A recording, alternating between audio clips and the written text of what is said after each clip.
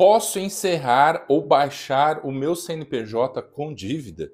Então é sobre isso que a gente vai falar neste vídeo, vídeo rápido e sempre objetivo, então me acompanhe até o final. Vamos lá.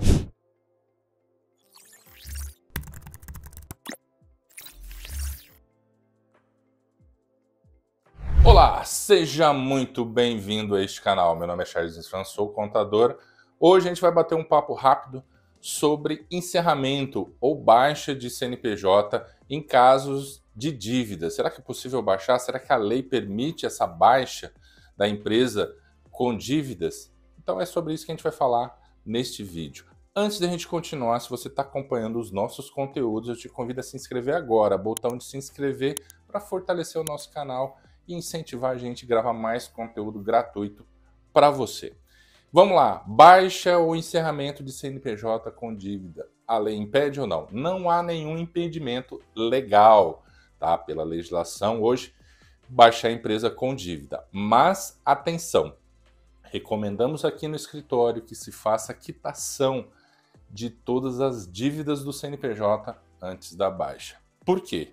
Se você iniciar um processo sem tomar esse cuidado, iniciar esse processo de encerramento de baixa, sem tomar esse cuidado, ou mesmo sabendo que existe essa dívida, automaticamente a Receita transfere essas dívidas para o CNPJ dos sócios, principalmente para o sócio administrador, tá?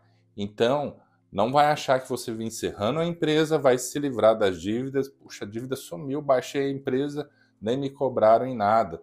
Muito pelo contrário, a Receita tem toda essa, esse liga, a ligação de CPF CNPJ dos sócios da empresa. Automaticamente ela vai transferir a dívida para o CPF dos sócios. Tudo bem? Bom, se você estiver ciente de que isso vai acontecer e pode ganhar um tempo a mais, tudo bem. Mas que isso pode talvez prejudicar o teu CPF, isso sim. Porque a dívida, dependendo da dívida que estiver no CNPJ, pode ser uma carga muito alta que vai cair sobre o seu CPF, tá? Então isso pode te trazer ali até um transtorno em negociação, porque se está negociando agora na pessoa física e não na jurídica, tá?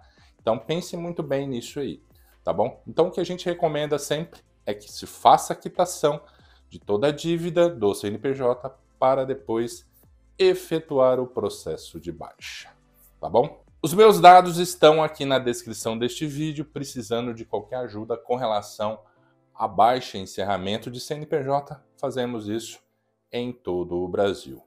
Eu vou ficando por aqui, um grande abraço, muito sucesso e te vejo aí nas próximas explicações. Se você tem dúvida, também deixa aqui para mim nos comentários. Até lá!